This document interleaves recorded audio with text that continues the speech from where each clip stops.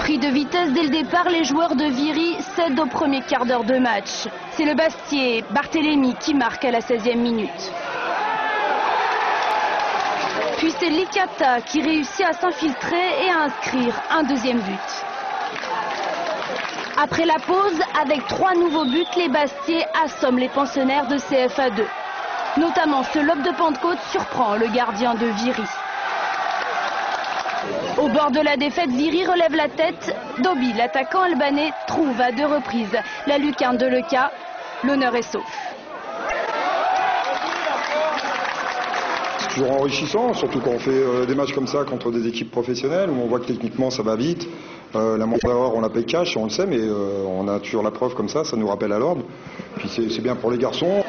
2-5, exit Viry, Bastia reste dans la compétition et jouera les 16e de finale. Le club a déjà remporté la Coupe de France en 1981. On écoute la réaction de l'entraîneur du SCB, Bernard Casoni.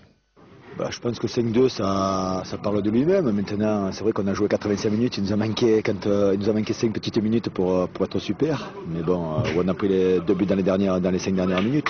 Mais bon, c'est un résultat très positif déjà, parce qu'on se qualifie. Et en Coupe de France, le plus important, c'est de, qualifier, de, de se qualifier. je pense qu'on y a mis la manière aussi. Donc, ça a été un match, un match sérieux. Un match sérieux.